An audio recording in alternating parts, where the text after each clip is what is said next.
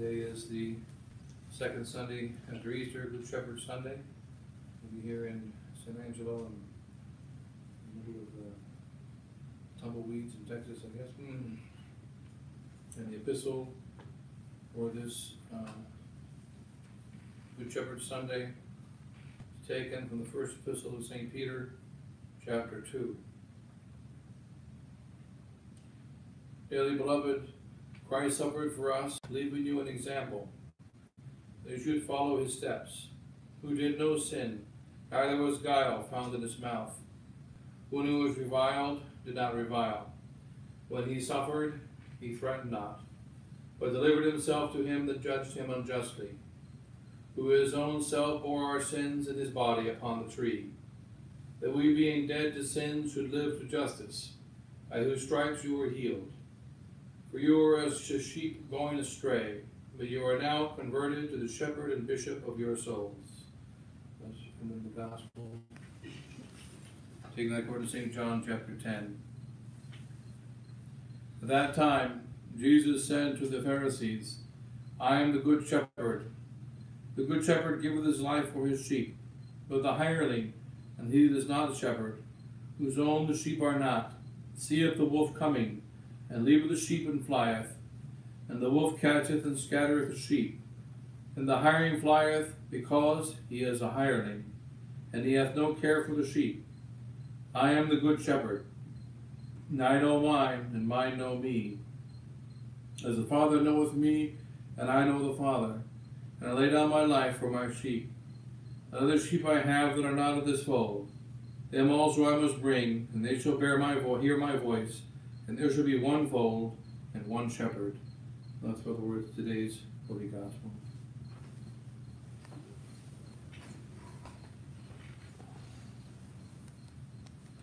In the Father, Son, and Ghost, Amen.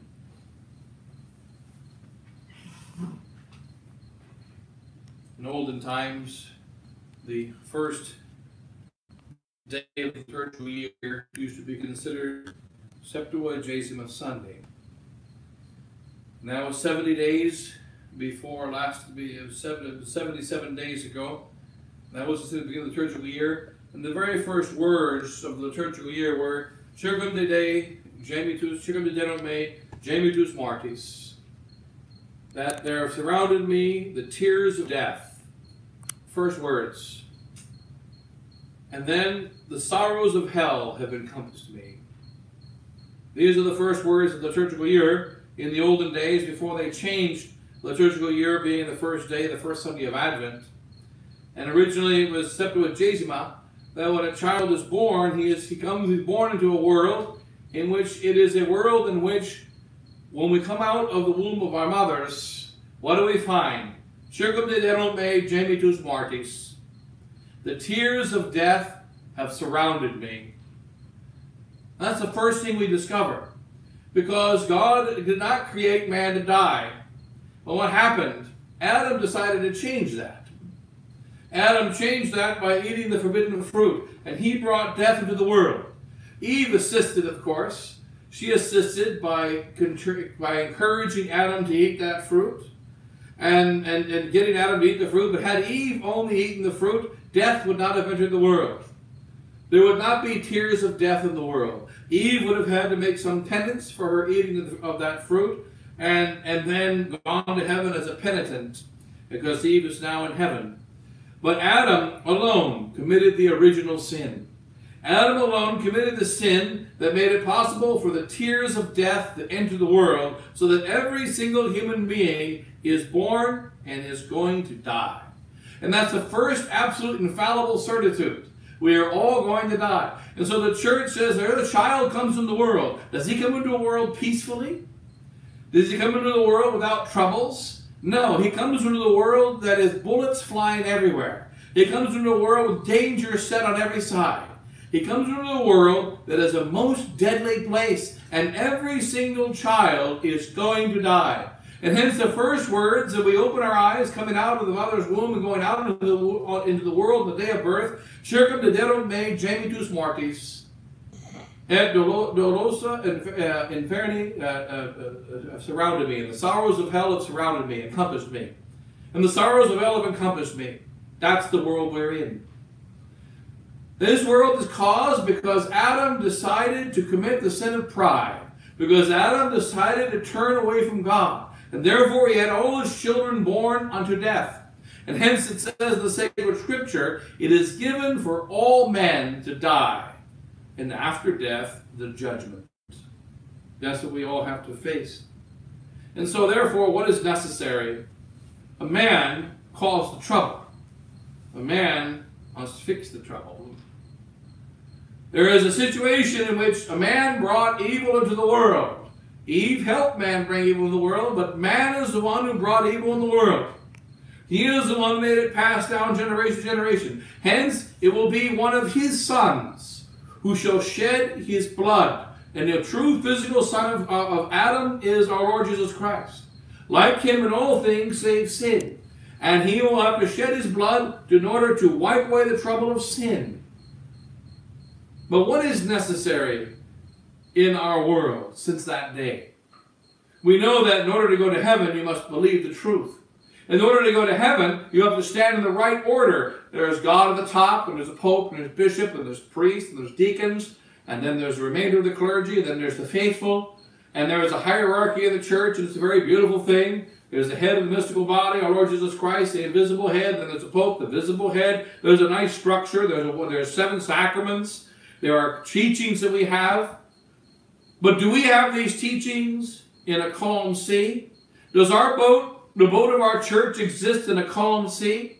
Or is these, are these teachings given to souls who sit in a nice classroom where there's nice desks and they have all the notes they need and there's no distractions? No, this doesn't exist.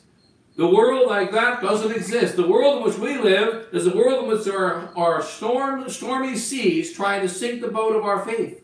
And the world in which we live is one in which the whole of our faith is trying to be destroyed. And hence it is most necessary that a teacher not just teach. There cannot be just teachers. And St. St. Leo the Great talked about it yesterday. His contemplation just happened to be the time of the um, of the great litanies of Saint Mar- of uh, uh, uh, Mark. We go out and bless the field, and we say on that day that God God, God said to, He sent His disciples out two by two. And Saint Leo says if it wasn't for Adam's sin, maybe we wouldn't need to go out two by two. But we must go out two by two. And why is that? The disciples must go out two by two. This does not mean that there will always be one priest with another priest when they go out on the missions. The Lord did send his disciples, two disciples, two disciples, two disciples. But every disciple must go two by two. He cannot go one by one. He must go two by two. Because it is one thing to teach. It is one thing to instruct. It is one thing to give order as to what must be done, because the captain of the ship says this is what must be done. Here's how we get the ship from the port to the to the from uh, across the sea to the to our heavenly port. He must give instructions. He must teach, but he must go two by two. That is, he must not only teach, but he must also act. He must not only teach, but he must also defend. That is why when a man who was ordained a priest he was ordained a priest. When I was ordained a priest, ordained a priest, I was consecrated, but I have not the fullness of the priesthood. I have the ability to make Christ present on the altar. That's the most important thing, to make Jesus Christ present on the altar. But when is priest fully priest?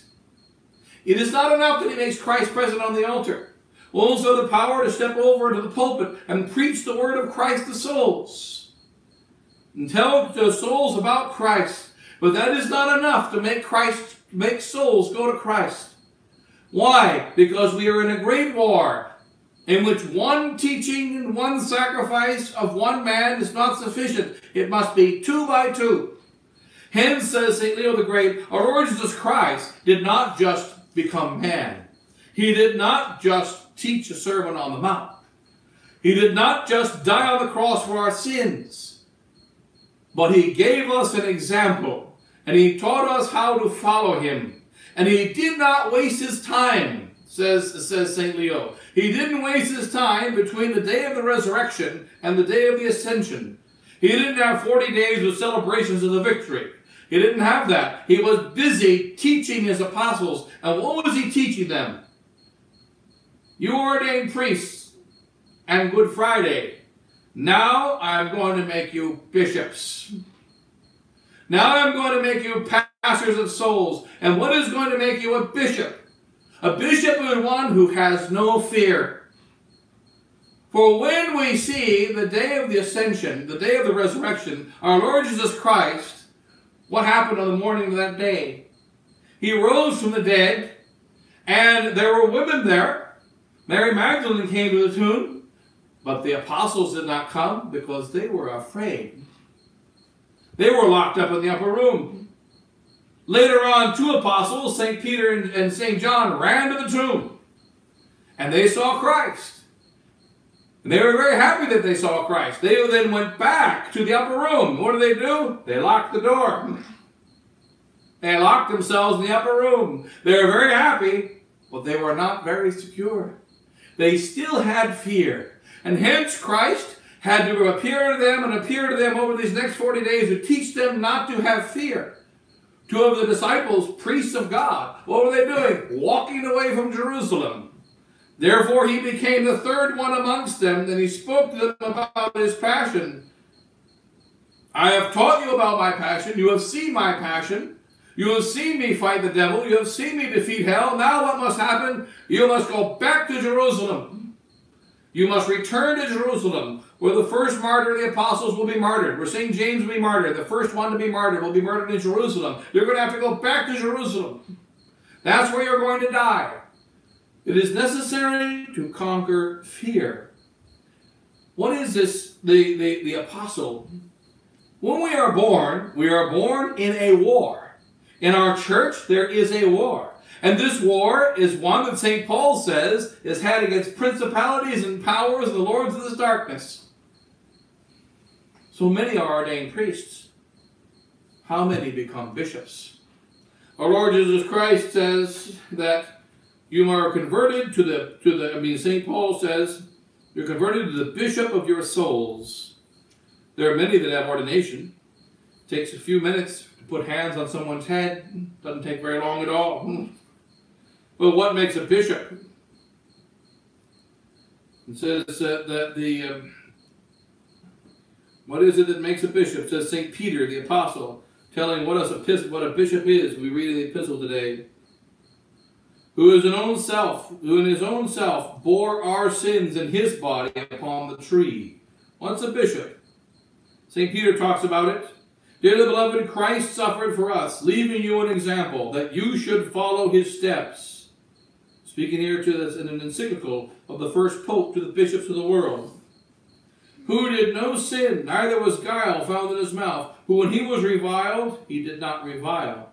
When he suffered, he threatened not but delivered himself to him that judged him unjustly, who in his own self bore our sins in his own body upon the tree, that we being dead to sin should live to justice, by whose stripes you were healed.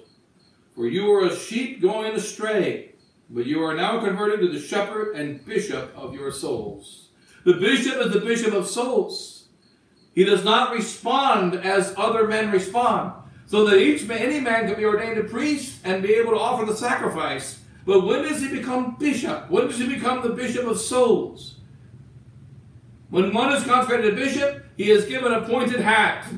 Those are two horns that he wears. And when he's putting on these two horns, what are the purpose of these two horns? Receive the horns of the two testaments. When we're ordained priests, we learn how to preach the two testaments. But when we become bishops, there better be two points and those who follow not these testaments, let them feel the point. They are going to get horns. Horns are put upon the head of the bishop. And he received these two horns. Receive the horns of the two testaments, and may you, be, may you appear fearsome to the enemies of the truth. Now, there are two kinds of enemies of the truth. There are those who do not believe the truth, and these are enemies of the truth. And there are those that believe the truth but do not follow it, and these are also enemies of the truth. And the Old Testament gives us the teaching, and the New Testament gives us the example. so that we put the truth into practice. And there must be bishops. Bishops are not supposed to be cowards. Why is it that Vatican II happened? When Archbishop Lefebvre was in the council, there were 250 bishops. About 250 bishops had said, we don't want to go along with this modernism. Right now, for instance, we're terrified of this coronavirus. I've been on a search, I'm really tired. I'm not tired because it's midnight. I'm tired because I've been searching the whole stinking country looking for the virus. I've been in the northwest, I've been in the southwest, I've been in the northeast, I've been all, all around. I'm looking for the virus. I can't find it. Can't find the stinking virus. I asked Sasquatch where the virus was. He told me he can't find it. I went to the Northeast. The hospitals are empty. And they tell you here that they're full. It's all lies. And what is the virus? The virus is a Satan indwelling inside of our souls. That's the virus. And what is the evil in the church? Bishops. Bishops who are not doing their duty as bishops. As Bishop Williamson used to tell us when we were in the seminary, he said the trouble of the modern bishops is not that they're bad bishops, it's that they don't bish. Bishops have to bish, and they're not bishing. They're not using their episcopal power. The Pope's not poping. He has three crowns on his head. He gave them the United Nations. He doesn't believe in the three crowns and the three powers that he has, but he still has those powers. And bishops still have those two horns, and there is nothing that can remove those horns from their head. But they can only choose not to use them. And he has a staff. The round part of that staff is to pull the sheep out of the pit. And the rest of it is to whack the bad guys. Now the fact is that there is a bishop, he is he, he has a soldier, he is a captain in an army, and what is his what is he captaining? Why does he fight? Why does a bishop use horns? Why does a bishop have a staff? Why so? Because he loves his sheep. He is the one that loves his sheep. And when his sheep are told you can't go to Mass, what is a bishop supposed to do? These doors of that church shall be opened. Now, we're all against Vatican II and the new Mass. The Vatican II is a very good thing that Pope Francis canceled the new Mass. Tell him to keep canceling it forever. Good choice. One of the few good things he did. But it's a very bad thing that Pope Francis closed the door of the Vatican.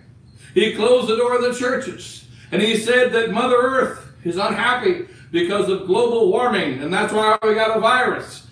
Because he didn't check the scientists to tell you that viruses are out when it's global cooling. When it's global warming, that kills the virus. If you want to kill the virus, then melt more ice in the, in, in, in the North Pole. That'll cure all the viruses.